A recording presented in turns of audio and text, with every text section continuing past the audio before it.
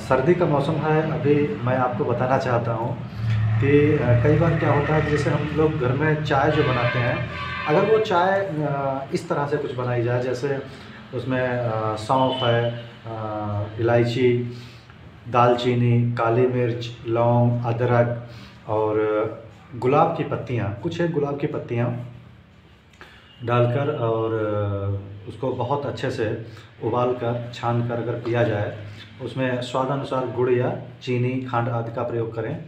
तो ये जो पेय बनता है तो ये गले के लिए बहुत ही राहत पहुँचाने वाला होता है।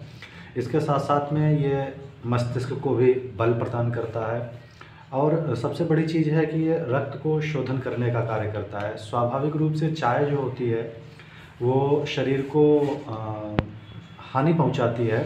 और ये जो पेय है, ये काढ़ा है और रक्त को साफ़ करेगा मस्तिष्क को तरोताज़ा भी करेगा और शरीर में एक नई स्फूर्ति लाएगा। तो इसलिए इस पेय का सेवन अधिक करें तो ज़्यादा बेहतर होगा।